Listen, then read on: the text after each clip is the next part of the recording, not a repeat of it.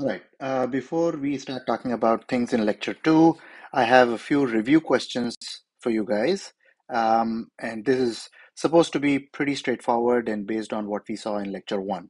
Now, as I do these questions, uh, feel free to pause the video and answer the question yourself just so that you, you check where you were. Now, the first question is true or false, one millivolt is the same as one millionth of a volt. Well, one, it's right away I know that the answer is going to be false. The reason is 1 millivolt is 1 millivolt, that's 10 to the negative 3. So that's 1 thousandth of a volt, which is not the same thing as 1 millionth of a volt because, volt because that is going to be 1 microvolt.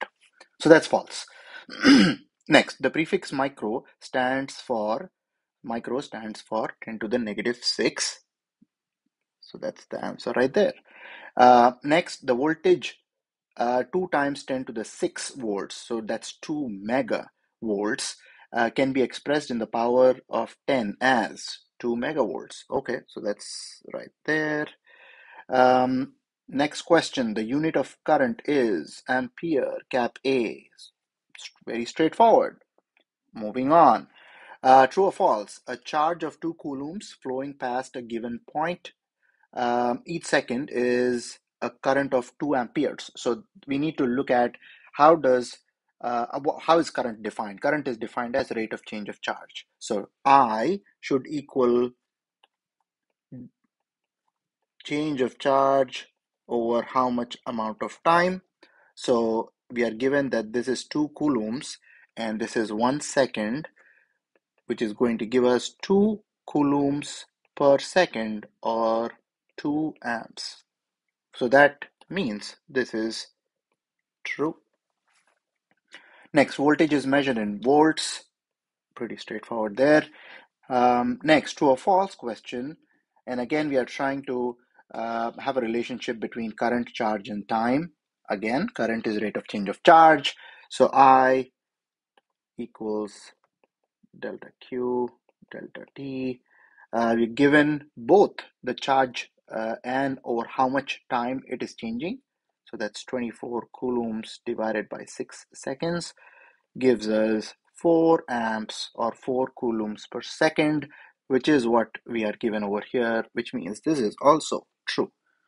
Moving on, um, this is relating to the passive sign convention, um, true or false. The question is passive sign convention is satisfied when the current enters through the positive terminal of an element and the power is computed as positive V times I, voltage across it multiplied by the current through it. Um, and just as a reference, as I said, it is helpful if we can quickly draw a very simple circuit in which we have a voltage source, say 1.5 volts, and it is supplying some current to a resistor R. And I is the, that current. Now, because current flows from high potential to low potential, the direction of the current is going to be from uh, clockwise in this case. And as you can see, for the resistor, the current is entering the positive terminal. And we also, we also know that resistors absorb power. How much power? V times I, in this case, 1.5 times I. Uh, and passive sign convention is being satisfied over here, which means this is, again, true.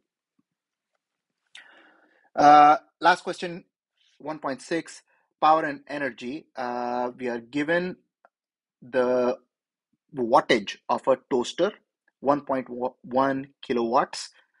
Uh, and the current that is flowing through it is 10 amps. We are asked to find the voltage across the toaster. So voltage so the toaster is a power absorbing element. Um, so it's going to be a positive quantity in this case Let's see if we can calculate that voltage by using the equation for power. Power is V times I. Um, we need V, we have P and I, so that means that V is divided by I, P divided by I. In this case, it is 1.1 K divided by 10 amps. So we are left with 1.1 times 10 to the 2, which is 110 volts. All right, so hopefully you guys uh, got these questions correct. I will see you in class. Um, I hope this video helped.